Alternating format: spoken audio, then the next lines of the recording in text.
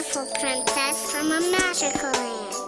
She spent most of her days caring for others.